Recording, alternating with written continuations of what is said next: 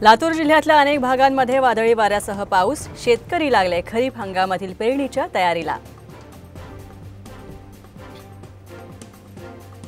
पहिल्याच पावसामध्ये माणगाव बस स्थानकाला तलावाचं स्वरूप बस स्थानकातील कॉन्क्रिटीकरणाचं अपूर्ण काम राहिल्यामुळे मोठ्याले खड्डे त्यात साचलं पावसाचं पाणी.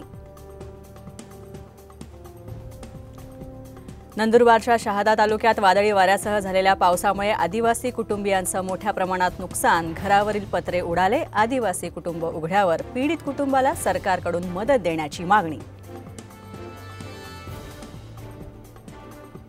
सिंधुदुर्गमध्ये अवकाळी पावसानं सव्वा दोन कोटींचं नुकसान केलं. मे महिन्यात झालेल्या अवकाळी पावसामुळे नुकसान झाल्याचा प्राथमिक अहवाल सादर सांगलीत पावसामुळे पुलावरील भराव खचला पलूस सांगली महामार्गावरील वाहतूक बंद. मुंबई गोवा महामार्गावर पहिल्याच पावसात दरड कोसळली. मुंबईकडून गोव्याकडे जाणारी वाहतूक काही काळ बंद.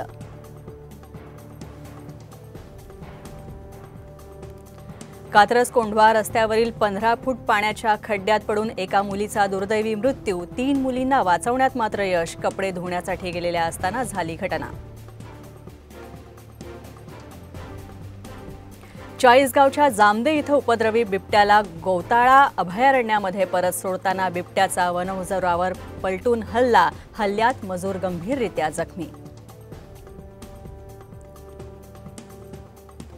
देशात मे महिन्यात एक पूर्णांक पाच अंश सेल्सिअसनं तापमान वाढ भारतातील आत्तापर्यंतची सगळ्यात उष्णतेची लाट.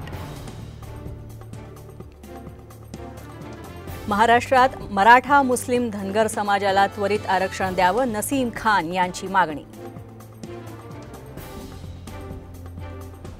वाशिम शहरात व्यापाऱ्यांकडून बाजारपेठ बंद व्यापारावरील हल्ल्याच्या निषेधार्थ घेतला निर्णय.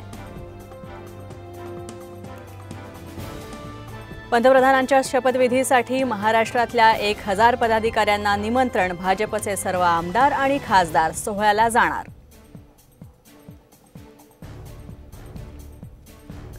सत्ता स्थापनेत बिहार आणि आंध्र प्रदेशचे नेते त्यांच्या राज्याचं हित पाहतात पण महाराष्ट्रातल्या घटक पक्षांना किती मंत्रिपदं मिळणार याचीच चिंता रोहित पवारांची टीका.